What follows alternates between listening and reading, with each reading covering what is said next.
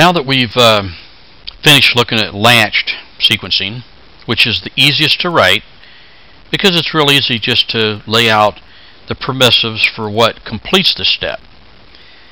The difficulty with latched, the logic that we just finished, is that then you have to go back and unlatch everything. Whereas sealing logic, although it behaves basically the same, everything that turns that output on or off is in one rung. It's much easier to troubleshoot and follow, but it is more difficult to write. You have to be a little bit more clever with your logic.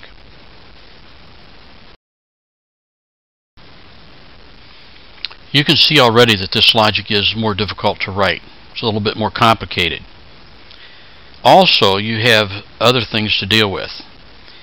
With latches, as you learned in the basics manual, when you cycle power,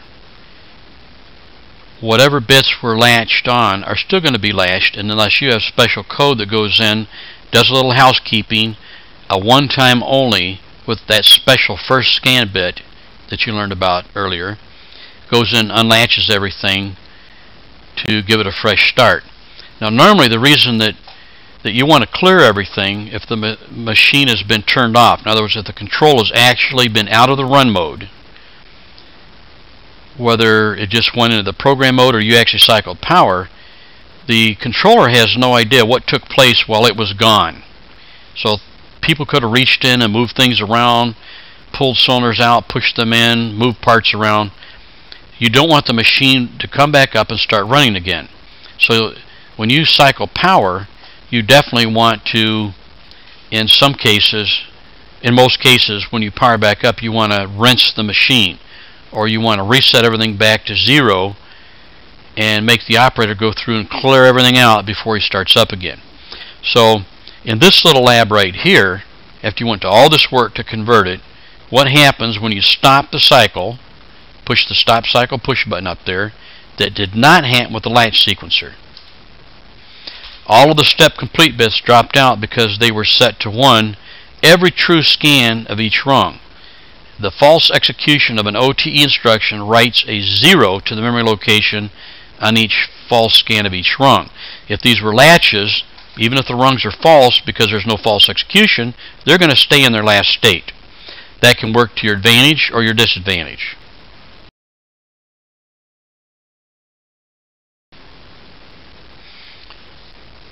Okay, we did a little um, extra logic here using the move instruction to capture the bit pattern for the steps complete on every single program scan. So we move B30 into B33 every single program scan. Now for this bit capture logic to be accurate, do you think it would matter where in the program the rung was located? Yes. Why? You would want the capture you would want to capture the bit pattern after the last complete scan, not somewhere in the middle of the execution of logic. In other words, if you captured it halfway through the logic, well, you may have changed a bit, you may not have, but you, it doesn't represent a complete program scan. So you always want to put it right at the end. Now, how could you put the sequencer back to the same image after a power cycle? Well, we had you add some more um, logic shown in step 6 here, rung 7, and we had to use the first pass bit. Remember S colon 115 or S2 colon 1 slash 15 is a special bit that goes true or high, 1, for one program scan anytime you go into the run mode, whether it's from the program mode or power off up into run. S115 goes true for one scan and one only. So on the very first pass through, it's going to move B3 3 into B30, but not again until you've cycled power, cycled the logic. Okay, so we had you reset your sequence, step to step two, cycle power, go online, put the process in the program mode from the online toolbar. we had you go in in the program mode that way um, you could watch a little bit more closely. So if you look, you can see uh, that the bit pattern B33 matches what you had when you went off.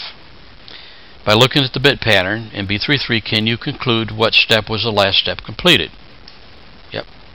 Step number two.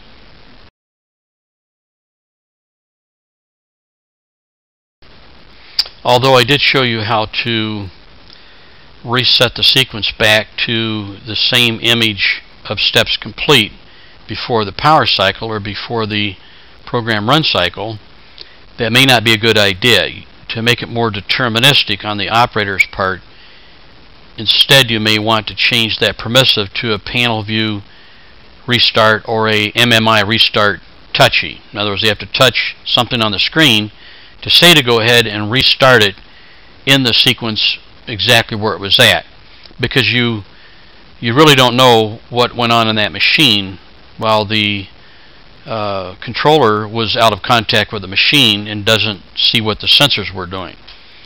So it might be better to do it this way.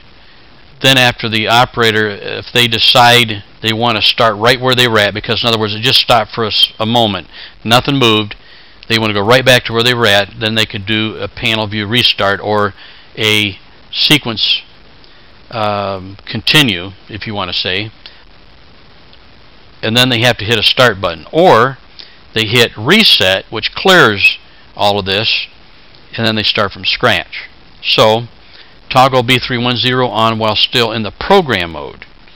Now, while observing the registers in the move instruction in rung 8, change the mode of the processor to the run mode.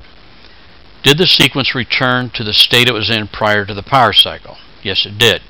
Does it matter where in the program that this rung is located? I say no because the amount of time that would lapse between when the operator made his selection and when the operator restarts the machine would include many complete program scans, if not hundreds.